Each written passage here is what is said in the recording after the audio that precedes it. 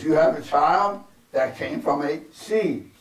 See, understand is that God created in order to keep multiplying, something has to be inside. So it's just as the word that is inside of us, when we open our mouth, we are literally, in a sense, impregnating something to blossom.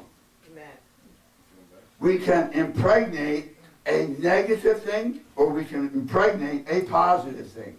God's desire is that we speak positive, that we speak affirmation, that we speak something in existence, not to see. See, here's the thing: when when when a male and female come together and they produce a child, it's a seed. But you already know that nine months down the road that you're going to hold the baby. So you don't look at the seed, you look at the baby. It's the same thing in our lives. When we're speaking something, you don't look at what's in front of you, you look at what is down the road. That's God's vision. That's God's desire in our heart, in our life. Amen? So, the earth, the water, and the air does not have a seed, and they're the only things that cannot be duplicated. Can't make water, can't make air, and you can't make dirt. Three things that cannot. Everything else is created by seed. Everything. So if we look at that in God's realm, God, when when when He spoke to Adam and Eve, and He said, "You can eat of every tree that, in, but don't eat of this." There's a reason why. Because He knew that if they did, that it would cause an effect that would last forever until Christ came. And then it still goes on because we still have two kingdoms. But we realize and understand that everything has a seed. So I want you to think about it this way, that every time you say something, you are literally impregnating something. When you're angry, which the enemy loves to get us angry, get us bitter, get jealous, all the stuff that that maybe the enemy wants to do. When the enemy does that, all he's doing is he is suggesting to you to go ahead and impregnate that and make it happen. And what happens is we do out of our flesh. Out of our flesh, out of our desire to see, get even or do something. But God says, be slow to speak, quick to listen, slow to anger. Why? Why is that scripture so important? Because it tells us to temper ourselves into a place that we literally, he says, look, no, every time we open our mouth, I can, I know God's not doing it, but I can just see God going,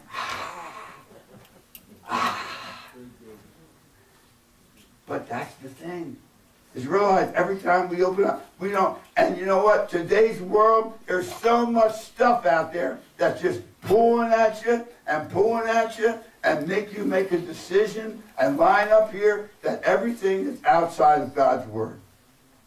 Hallelujah. In Psalms 139, 14, it says, I will praise thee, for I am fearfully and wonderfully made. Marvelous are thy works, and that my soul knoweth right well. You are fearfully and wonderfully made. We are in creation. We are a specific weird people that God created. When you accepted Jesus Christ, you're no longer the same. What is a Christian? You can't describe a Christian. You can't describe a Christian because you have a body like everybody else, but yet your home is not here. You've been, you now have a new home, but even though you're living here, but you really have another home, and yet, but yet you still have the power to be able to do what God wants you to do, and but it doesn't make sense. We as Christians, it doesn't make sense, but we are a new creation. We're a strange creature, but we have power. We have power to do that which God has designed us to do. He said, you know what? I'm going to make a lot of little Jesuses. Yes. Amen. I'm going to make a lot of little Jesuses because That is how I will be able to continue to be able to do that which I need to do to see the plan come to completion. Hallelujah. We also see here in Deuteronomy chapter 30, verse 19. It says, I call to heaven and earth to record this day against you. Listen to this. That I have set before you life and death, blessing and cursing. Therefore, choose life, that both thou and thy seed may live. Every morning when you wake up, we have a choice to be able to receive life or death, cursing or blessing. That's a choice that he has given to us. Every morning, we can walk up, we can wake up in the morning and say, this is a blessing. We can wake up, listen to me, you can wake up, this is a blessed day. Thank you, Jesus. It's what you say. It's what you impregnate in your day. Let's be real. How many here have gotten up in the morning, just had a rough morning, didn't have a cup of coffee, you're running late, and it just seemed like all day, all day, the day was bad. Because it started bad, you didn't proclaim that it was a blessed day, because he gave you an opportunity. It's either going to be a blessed day, so it's going to be a blessing or a cursing. It's, it's something that we wake up every day. But we, by our nature, what we want to do is we want to call that which is not as if it is, but we want to do it in the negative. And we don't want to do it in the positive. But if we continue to keep allowing the Spirit of God to change and formulate our minds, we start to see God really starting to move. A scripture that I will always stand on, Proverbs 18:21. Death and life are in the power of our tongue and they that love it shall eat the fruit thereof. So, again, we're looking at fruit. Where's the fruit come from? Whatever you want, whatever you speak. If you speak death, guess what? Your fruit's coming back, it's going to kill you. Not kill you physically, but it's going to kill you emotionally, spiritually, financially, uh, uh, um, emotionally. It can mess you up by what you say. Why? Because we are children of the Most High God. There's a mechanism now that's in us that when we speak, it does something. It actually does something. It impregnates something. You can, your family, your, your, your relationship with people, your, your job, whatever it may be, if we, every time we say something like that, we are going to get back that which you sow. Anybody getting anything out of this? Amen. It don't matter because I am.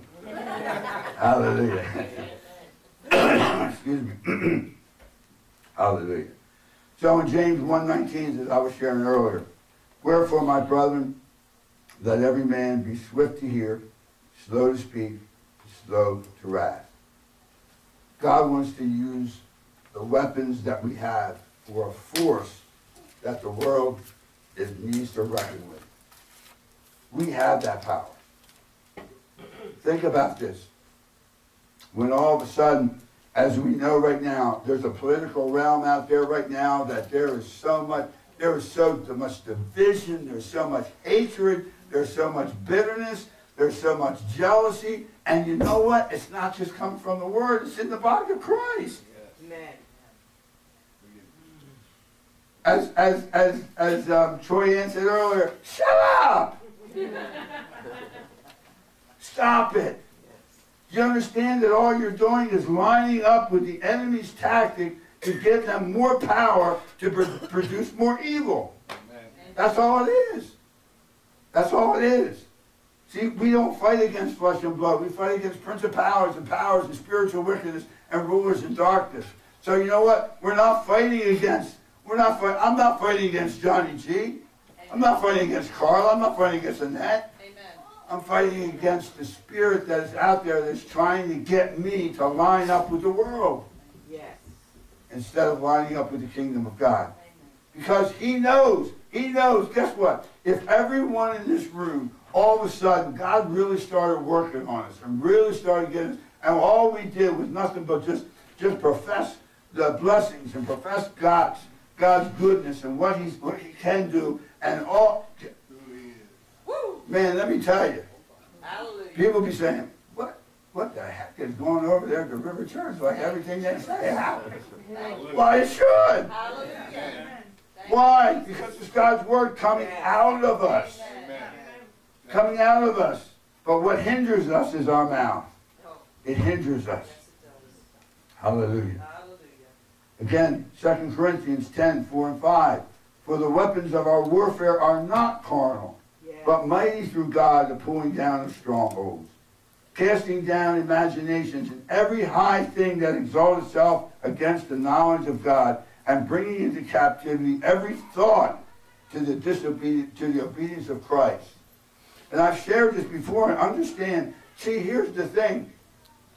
If you say something and yet you're praying for God to do something, what happens is the words that you speak are now more powerful than God's word. Listen to me. It's because it has now exalted itself above God's word. Mm. And when it exalts itself above God's word, God can't do anything. That's why he says, take every thought captive that would exalt itself above Christ. But see, when we hold God's word to a different standard and it's above what this world says, guess what? It will accomplish. Because why? It is above God. It is above the world's word. Amen? Hallelujah. Thank you, Jesus. Over to Matthew chapter 4. Hallelujah. I'm going to read this out of the Common English Bible.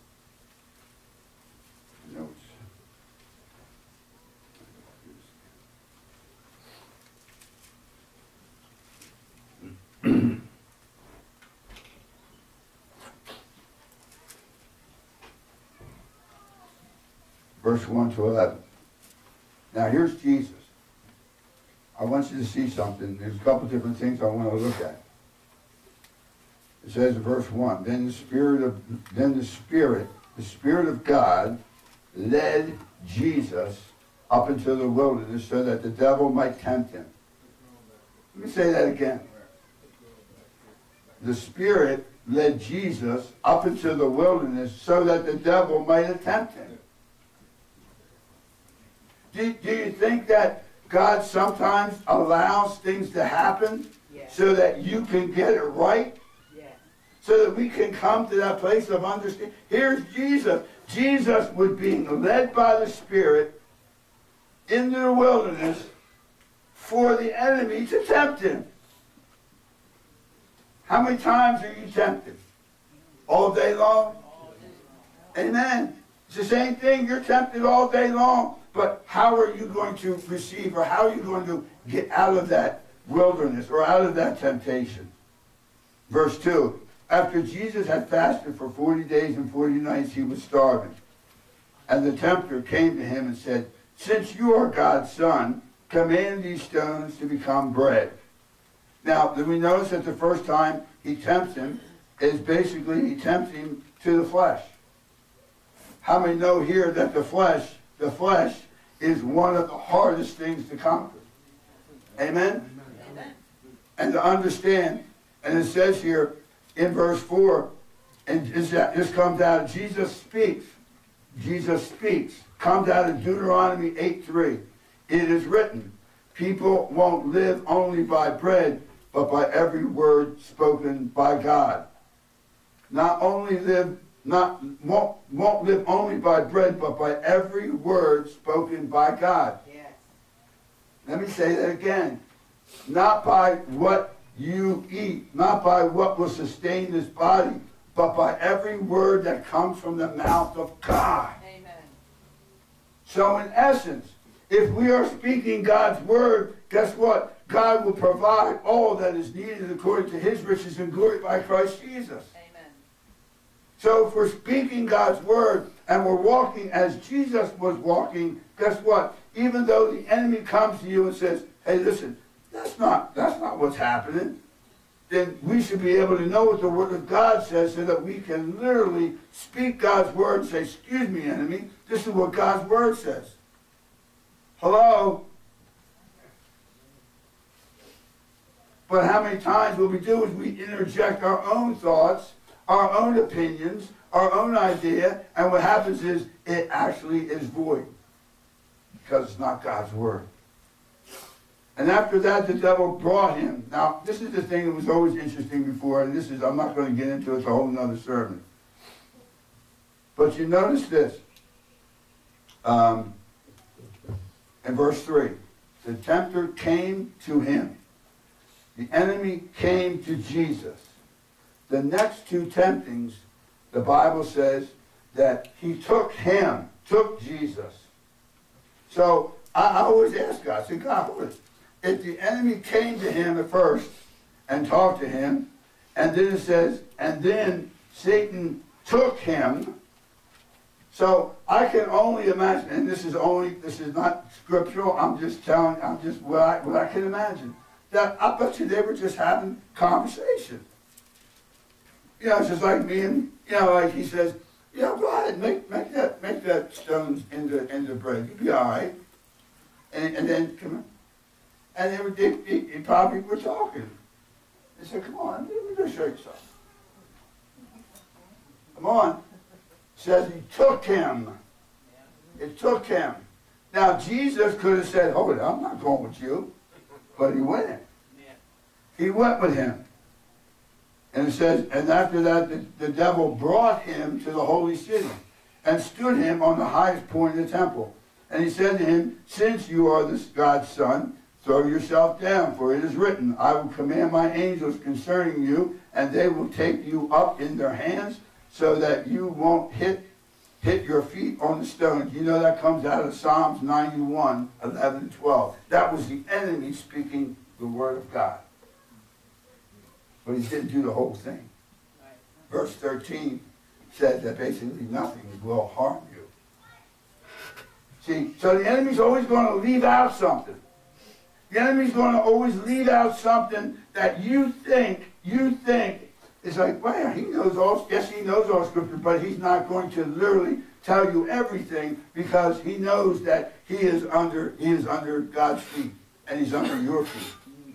So when we realize that, we understand. So guess what? Guess what? Do you think that the enemy can use somebody in your family? Yeah. Do you think he can use your spouse? Yeah. Do you think he can use your children? Yes, he can. Do you think do you think the enemy can use your pastor? Yes, you can you can go like this. That's why we fight, not against flesh and blood, but against principalities and powers and spiritual wickedness in high places. We have to be careful because guess what? We're all flesh and we're all growing to the knowledge of God. We're all growing into that place of perfection. We're all growing and desiring to be transformed by the power of the Spirit of God into, into the image of Christ Jesus. Yeah. Hallelujah. Matthew chapter 12, verse 34. You can read the rest of it later. Hallelujah. Jesus says to the, to the Pharisees and Sadducees, O generation of vipers, how can ye, being evil, speak good things? For out of the abundance of the heart, the mouth speaks. For out of the abundance of the heart, the mouth speaks. Jesus is telling them, guess what? All I have to do is listen to what you say, and I know what's in your heart. Amen. That's why you can be around people, and they can call themselves Christians. They can call themselves this, this, this, and everything. But watch what they say. Amen. That's how you know the fruit. Because out of the heart, that's why jesting, listen to me, that's why jesting sometimes is dangerous. Yes. Because we may say something in jest and laugh about it, but really deep down inside, it's coming out of our heart. Yes. And it attacks people. Yes. And sometimes it hurts people. Yes. There's wrong times to say it. Yes, there is. And we got to be careful. We got to be careful because, again, getting back to the very beginning, Everything that we say comes out of our mouth has a mechanism, has a seed in it that will impregnate something to happen. Even jest. Hallelujah. Amen. In verse 36, but I say unto you, listen to me now. But I say unto you that every idle word that men shall speak, they shall give account thereof in the day of judgment. For by thy words thou shalt justify, and by thy words thou shalt be condemned. The word idle means this inactive, lazy, useless. Listen to this one barren, mm-hmm. no fruit. No fruit. So let's put it in, in our. Said we will stand before him, and every idle word, every barren word, every not fruitful word that we speak, we will be held accountable to. Mm. Why? Why? See, don't worry about the world. Say, well, look at them. Don't worry. They don't know Jesus. They're already condemned to hell. But he's talking to us, folks. Yes. He's talking to us. He says, guess what? I have inside of you the mechanism in order to impregnate that which I desire to do. And here's the thing. When you do that, guess what? You're going to be held accountable for that. Yes. We're going to be held accountable for that. Oh, I'll just pray and just ask the Lord to forgive me. That's a whole nother sermon, folks. Amen. God, Paul says, God forbid. Amen? Thank you, Jesus. Romans 8, 14 to 17. For as many are led by the Spirit of God, they are the sons of God. For you are not received the spirit of bondage again to fear, but you received the spirit of adoption, whereby we cry, Abba, Father. The Spirit itself bears witness with our spirit that we are the children of God. And as children, then heirs. Heirs of God. And joint heirs with Christ, if so be that you will suffer with him, that you may also be glorified together. So now, putting it all in perspective, when you accept Christ Jesus, and the Spirit of God came upon you, came in you, not only is he with you, but he's in you. Now you have a responsibility.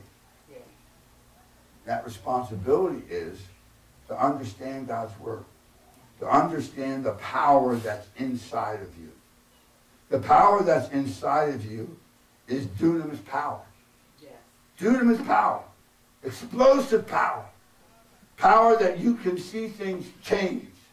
So that when all of a sudden we start to realize and understand how many times, and I'm, just going to say this, that how many times that we, we, we, we pray and we ask God to do something and turn around we, and we, and we know and void it by saying something else.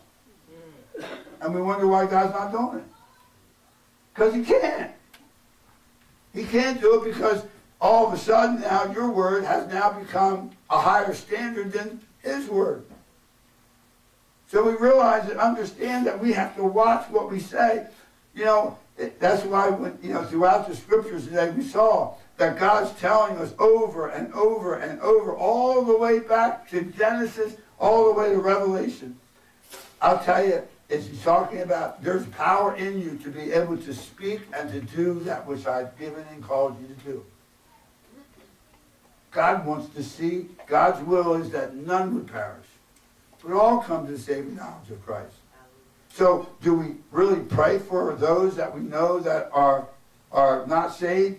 And, and we just, we, we pick and choose who we want to see saved. Mm. Well, I don't really like that, so I'm not going to pray for them. Amen. Do you know they're going to hell? Amen. Amen. You know, we got to realize and understand. What would God say? What would Jesus do? Je- Jesus could say, guess what? I'm going to go to the cross, but I'm going to do it all, but, but I'm not doing it for you. No, he did it for the whole world. Amen. He did it for all. So all will come to the saving knowledge of Christ. So we can't pick and choose who needs to get saved. We can't pick and choose who we want to see healed and delivered and set free. It's only by God's design. But when he tells us to open up our mouth and speak, that we don't do it in idle words. Amen. That we don't do it in our own flesh. That we don't do it because it irritates us or it makes us angry. We do it, you know, we just say, Amen. Yes, Bite your tongue. that's right. Better to say that than to lash out and to say something. Because you're impregnating that person, that scenario, that situation, and guess what? Whatever you sow, you will reap. Yes. It will come back to you. People say, oh, it's karma. No, It's God's word. that's right. God's word says it will return. It, that when we speak, and we speak according to God's word, in power and might, in which he's given to us, when we speak it, it will not return void. It will do that was sent for it. Will prosper. It will bring about completion. That's the power of God's word. Hallelujah. Let's stand feet.